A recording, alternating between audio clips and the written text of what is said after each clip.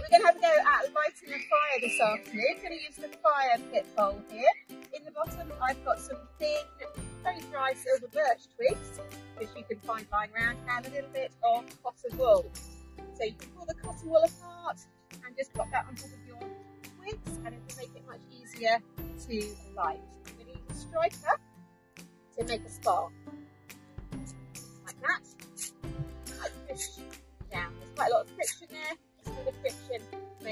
And I'm going to throw the spark into the bottom of the fire bowl and hopefully the fire will start. Here we go.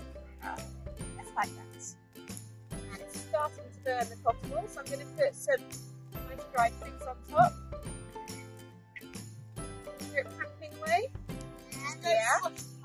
Not trying to squash the fire, no. Just going to get plenty of room for it to burn starting to burn. So start off very, thin twigs like that and lay them on very carefully.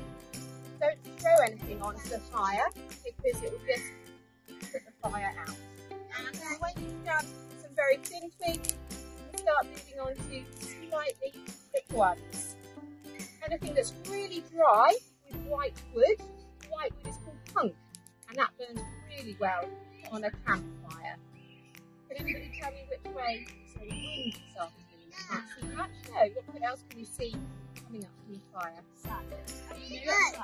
It's a bit of smoke, Fantastic. So, just going for a few minutes, and if you can't see enough flame, you can blow very slightly in the bottom.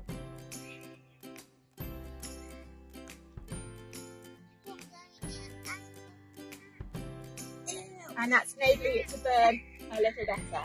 Are you ready to have a go? Yes!